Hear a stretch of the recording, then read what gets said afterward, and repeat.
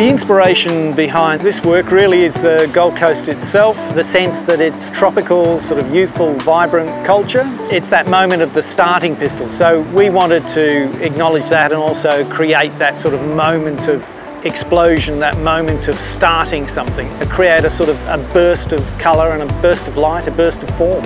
Each sort of arm and leg is slightly reminiscent of a surfboard or a slice of tropical fruit.